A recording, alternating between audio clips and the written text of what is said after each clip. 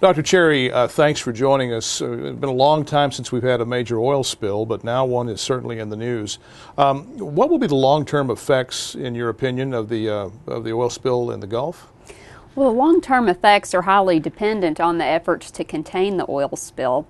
Uh, but what could happen is a massive kill off of birds, fish, and other marine life on the Gulf Coast, followed by decades of slow recovery due to the destruction of their habitat and ingestion of toxic substances. Um, how does the Gulf Coast oil spill compare to the uh, Exxon Valdez incident?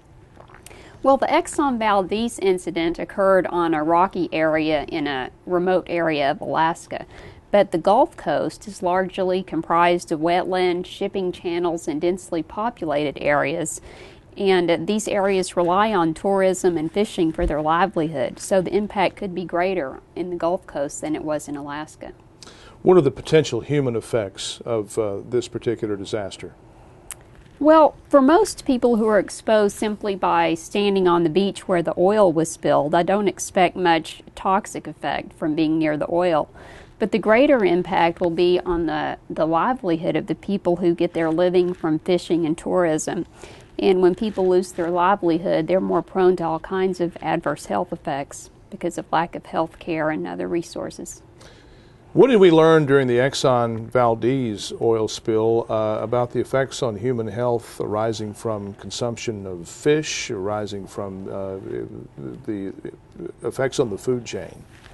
Well, certain types of seafood are more impacted than others. For instance, oysters, shrimp, and crab will be affected over the coming months and years from ingesting potentially toxic substances, but most fish will still be safe to eat. Are there any particular groups of people who are at greater risk uh, from the effects of this spill? Not in particular from the oil spill. Now, pregnant women and young children are advised to avoid certain types of fish due to the mercury contamination, but we're not talking about mercury here. So, certainly the fish on the market now is still safe to eat, and uh, the the uh, Food and Drug Administration will uh, issue advisories if there are any health risks from the seafood, and you can uh, visit their website at uh, fda.gov. How long did it take uh, Alaska to return to some sort of environmental normalcy, some sort of stasis following the uh, Exxon Valdez incident? incident? Well, it, it took a few years to remove the, the oil from the surface of the water but the oil is actually still contained in the sand of their beaches, and even though it's been about 25 years since that oil spill, they're still in recovery.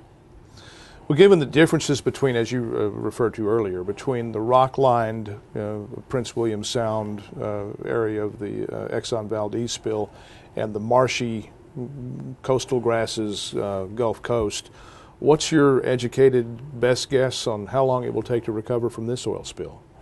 I think it will take decades. You know, it took decades in Alaska, and uh, in the Gulf Coast, we have this marshy area that could absorb the oil like a sponge. Now, there's some advantages because of the occurring in warmer water and the type of oil. It's sweeter and more biodegradable than the oil that was spilled in Alaska, so that can be an advantage where it would uh, dissipate more quickly, but it's still likely to take decades to recover.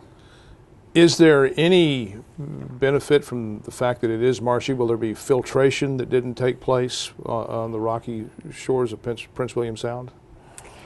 Uh, there could be an advantage in that it might be more biodegradable. I mean, the bacteria in the warmer water uh, may help it biodegrade faster instead of just sitting there in, in, sand residues like it has in Alaska. Very well. Thank you very much, Doctor. Mm-hmm.